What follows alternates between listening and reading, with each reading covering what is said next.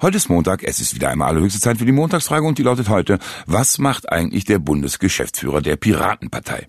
Den kennen Sie nicht? Jetzt bitte ich Sie aber. Das ist doch der Johannes Ponader, der damals als erster Pirat überhaupt die Quasselfregatte von Günther Jauch geentert hatte, der mit dieser fusseligen Strickjacke und den Riemchensandalen, der während der Sendung ununterbrochen auf seinem Twitter-Apparat rumgetwittert hat, weil er Kontakt mit seiner Basis aufnehmen wollte. Also ich fand den damals wirklich witzig. Endlich mal einer, der der diese verkrusteten Fernsehgesprächsrituale ein bisschen aufmischte und für spürbare Irritation in der stocksteifen Gesprächsrunde sorgte.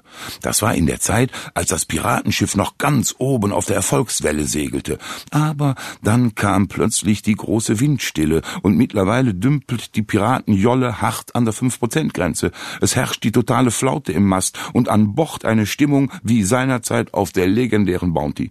Unten im Laderaum an der Basis sozusagen bohren bohren die Besatzungsmitglieder ein Loch nach dem anderen in den ohnehin porösen Rumpf, während oben auf der Brücke, wo normalerweise die Kommandos gegeben werden, die Offiziere eine Riesenprügelei inszenieren, in deren Verlauf ein Oberpirat nach dem anderen frustriert von Bord springt, um den Freischwimmer zu machen.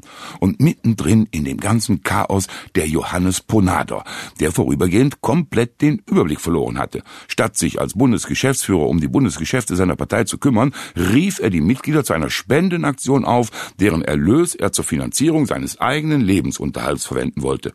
Aber die Nassauer Aktion hat er jetzt gestoppt und erklärt in einem Interview in der heutigen Ausgabe des Spiegels, ab sofort nur noch von seinem eigenen Geld leben zu wollen.